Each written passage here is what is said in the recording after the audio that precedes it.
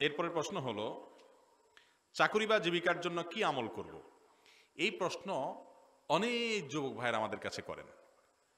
পরিশ্রম করতে রাজি না, কাজকাম করতে রাজি না, বা করলেও সেটা ধরি মাছ নাছুই পানি টাইপ তারা আমল চায়। হুজুর, একটা দোয়া শিখাই দেন কাজ টাজ বেশি করতে পারব না, যাতে রাতারাতি বড়লোক হয়ে যায়।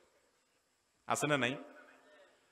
অনেক ছেলেরা আছেন, অনেক মেয়েরা আছেন, পড়ালেখা ভালো করে করবে না। কলম নিয়ে যাবে, হুজুর ফু দিয়ে দেন যাতে পরীক্ষা ভালো করি। ভাড়া, যারা পড়ালেখা করে সিরিয়াসলি তারা পড়ালেখা শেষ করে আল্লাহর কাছে দোয়া করবে, আল্লাহ আপনি সাহায্য করেন। শেষ। আমরা চাই হলো, হুজুর কিছু টাকা পয়সার বিনিময়ে আমাকে একটু শর্টকাট রাস্তা বলে দেখে আমি পার হয়ে যাই। যুবকরা বিয়ে করার জন্য বারবার দোয়া চায়, হুজুর দোয়া শিখাই দেন, কোনটা করলে বিয়ে তাড়াতাড়ি হবে। আরে বাবা, বিয়ে তাড়াতাড়ি হওয়ার আমল হলো কাজ শুরু করেন। পয়সা কামাই করেন। মাথার ঘাম পায়ে ফেলেন, হালাল রুজির জন্য গাধার মতো খাটেন। কোন ইজ্জতের ভয় করিয়েন না হালাল উপার্জন করতে গিয়া। গাধার মতো খাইটে টাকা উপার্জন করেন।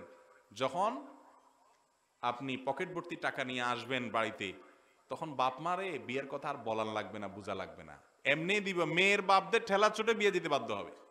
ঠিক না বে ঠিক এর পাশাপাশি মা বাবের জন্য যেটা বলা দরকার, সেটা তো সবসময় বলি আমি। আর উপার্জনের জন্য আমল হলো, আল্লাহ বলেছেন, ফাইদা কুদিয়াতিস সালাহ ফান্তাশরিফিল্লাহ নামাজ শেষ হয়ে গেছে, মসজিদে বের হয়ে যাও। বের হয়ে যাও। ওয়াবতাকু মিন ফাদলিল্লাহ এবং পৃথিবীতে আল্লাহ রিজিক পড়ে আছে, উপার্জন করো, পরিশ্রম করো। এখন শুধু যুবকরা চাকরি খোঁজে। আজকে এক ভাই হোটেলে দেখা করতে আসছে আইসা বলতেছে, হুজুর, দোয়া করেন সরকারি চাকরির জন্য চেষ্টা করতেছে। আমি বলি, এই চাকর হওয়ার জন্য আমি দোয়া করব কেন? আমি দোয়া করব, আল্লাহ আমার ভাই একজন বড় চাকর হইতে চাইতেছে। আল্লাহ ওনাকে বড় চাকর বানাই দেন। বড় চাকরি হওয়া মানে বড় চাকর হওয়া। এটা কেমন দোয়া রে ভাই? আমি তো আপনার জন্য দোয়া করব, আল্লাহ এই লোকের মালিক বানাই দেন। চাকর হবেন কেন আপনি? নজরে তো নিচু কেন? দশ কেজি আম কিনে বসেন। ওই আম বিক্রি করে পঞ্চাশ টাকা লাভ করেন। ওই পঞ্চাশ টাকা দিয়ে আরও আধা কেজি বাড়াইয়া সাড়ে দশ কেজি কিনে বসেন। ওইটা দিয়ে এগারোশো, আরও একশো টাকা লাভ করেন পর টিপে। এরপর এভাবে আস্তে আস্তে তিল তিল তিল করে সামনের দিকে আগান। কথার কথা, উদ্যোক্তা হন, ছোট ছোট কাজকে সিরিয়াসলি করে করে বড়র দিকে হন। নবী করিম সাল্লাহ সাল্লাম একটা হাদিস আছে, ইন্নাল্লাহ ইউহিব্বু ইযা আমিলা আহাদুকুম আমালান আইয়ুতকিনাহু আল্লাহ তাআলা পছন্দ করেন বান্দা যদি কোনো কাজ করে, সেটা দুনিয়ার কাজ হোক আর আখিরাতের কাজ হোক, আমালান যে কোনো কাজ যদি বান্দা করে, সেটাকে যদি খুব ভালো করে করে সিরিয়াসনেসের সাথে করে, গুরুত্ব দিয়া করে, আল্লাহ তাআলা সেটা পছন্দ করেন।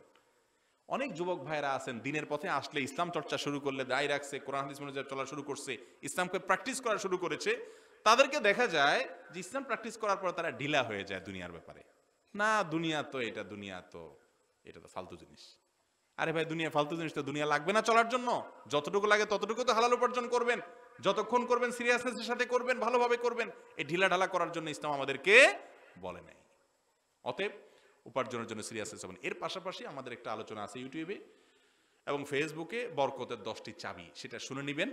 যে আমলগুলোর মাধ্যমে সবকিছুতে আল্লাহ তালা বরকত দান করেন, ইনশাআল্লাহ বিদনিল্লাহ আল্লাহ তালা বরকত দেবেন, বিসমিল্লাহ পরে শুরু করবেন এবং আল্লাহ যদি অল্প দেয় তাতে সন্তুষ্ট থাকবেন। কিন্তু চেষ্টাতে যেন ত্রুটি না হয়, আল্লাহ তালা আমাদেরকে বুঝার তৌফিক দান করুন।